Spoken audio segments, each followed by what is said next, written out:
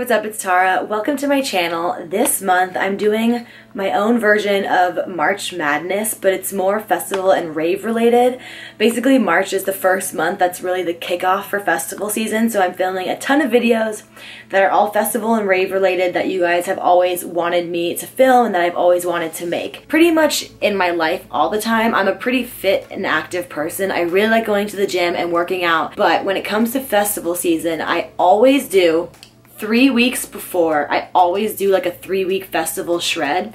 And the reason that I do this is honestly just because I'm wearing really small outfits and like you know you want to feel and look your best when you go because you spend all this time preparing and you spend all this money on the festival. When you get there you kind of just want to like show up and show out and be living your best life and be like wow I looked great and I look like I'm having so much fun.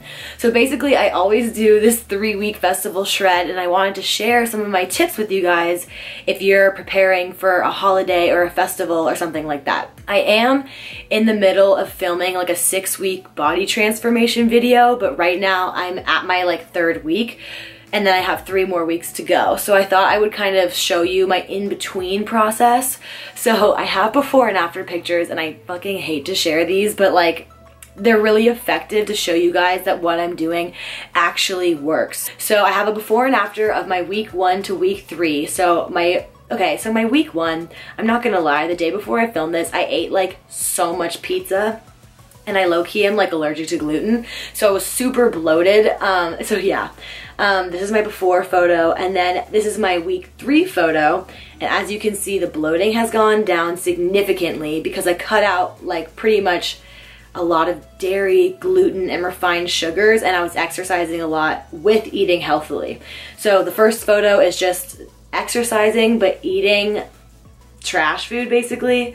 And then the third one is no dairy no gluten no refined sugar and then like lots of exercise. So obviously i still have three weeks to go so i'll have a six week um, transformation video coming in three more weeks that you guys can watch but just so you guys can see how i started this transformation we're gonna go over like workout food and all of those kinds of things so i hope you enjoy Okay, so one thing that I want to talk about is that in the beginning, you really do just have to buckle down and you have to change your eating habits and then you have to exercise and you have to do both of those because if you're doing one or the other, you're not going to really see results.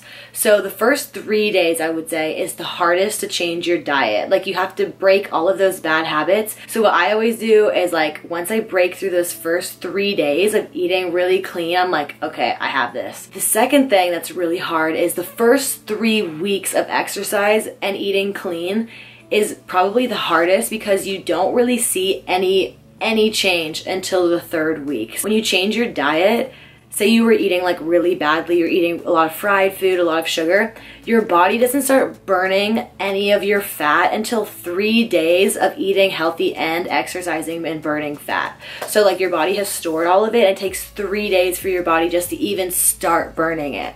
So the beginning of this process is a little bit slow, but don't get discouraged. Once you break through week three, it's going to be so fast and you're gonna see such results. It's actually crazy. Okay guys, I just have been out taking photos and stuff and I just, I always change into this robe when I get home because it's really comfy, but I wanted to show you guys my favorite like healthy lunch that I've been making lately that I'm so obsessed with and there's so many good things in it that I think you guys are really gonna like it. Um, I'm not gonna lie, you guys are probably going to think that the ingredients are really weird, but I think that I've made something that's pretty delicious, so I wanna show you guys how to make it. It's kind of like a rice cake tuna salad type thing. If you don't like tuna, you can use chicken or turkey or whatever your preference of protein is. The reason that I use canned tuna is because it is super low in fat and is like the highest protein that you can get in any type of meat. At least that's what I read. So a serving size of tuna is half of the can. I already have some from the other day. So I'm just gonna use the rest of that in here. So it looks like this in the bowl. And then also you're gonna wanna put half an avocado in it because I don't even know what a serving size of avocado is. That looks so nice. And I just cut it into cubes.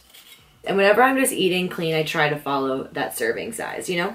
And then everything else I kind of guesstimate. So I like cucumber. It just is really refreshing and it tastes so good in salad. So I take the skin off like this because I don't like the skin.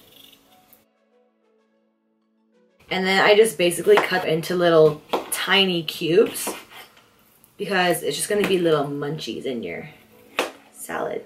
When I tell you that I eat this every day, I eat it every day. Probably because I'm I'm a very routine eater type person. Like I love routine eating. I do different things every day, but even if you do something different every day, at least you know like you work out the same time every day or you eat the same thing every day at the same time. I don't know. I just like routine, but I know some people probably think that's weird. And obviously you guys, if you don't like one of everything that I'm putting into the salad. Just switch it out for something that you do like. Eating healthy doesn't have to suck. Like if you don't like some healthy foods, don't eat them. Like you can have fun with what you're eating and it's still healthy. Here's when it gets weird. I really like mustard on in it. So I go like drizzle some mustard on it, a crack of salt, like two crab cracks of pepper, mash it up all together. So then your entire bowl is mixed up and it pretty much looks like mashed up baby food. And then I take two rice cakes, okay? I only eat two. You can eat more if you want, but I just eat two at a time. And what you do is you take your rice cake, you take your rice cake, okay? I love when it's nice and flat on the surface and you just load it up, like slap that on, okay? I just eat two rice cakes and then I eat the rest of the salad just by itself. And I think it tastes really yummy and flavorful by itself as well. And then these are healthy little rice cakes that I love to eat. And it's like a tuna salad type thing on a rice cake. It's super low carb, but really high protein, high fat. And honestly, it just tastes so good. And I would say it's definitely an amazing healthy meal. Honestly, rice cakes with a lot of things as a bread substitute is the way to go. So yeah, I just wanted to share this meal with you guys and I'm gonna keep eating. I'm not a good mukbanger. I don't think so. No. I wanted to share with you guys some of the supplements that I take that I feel like really make a huge difference in my overall health and how I feel. I like to take a gut probiotic. So gut health is really important for like your overall health and obviously your digestive system and how you process foods and things like that. And it kind of just realigns your stomach with like healthy um like little live things that like digest help digest the food. I'm not really sure the science behind it, but I've read it before and it makes sense. This is what the probiotic looks like. It's from ATP Science. It's an Australian brand and I've gone, I've used three tubs of this. Like I have, I am in love with this product. But you can do one scoop a day in the morning and like that's good enough for me as long as you combine it with a really clean diet. Like it's so good. Also, something else that I really love, that I really, really, really love is collagen. It's like one of the best beauty secrets for all women. So this is the collagen that I like to use. It's by Vital Proteins. I buy it from Target or like your local GNC, wherever you get like protein powder or something like that. It makes a huge difference in my skin. Like fabulous for skin, hair, and nails. Like absolutely fabulous.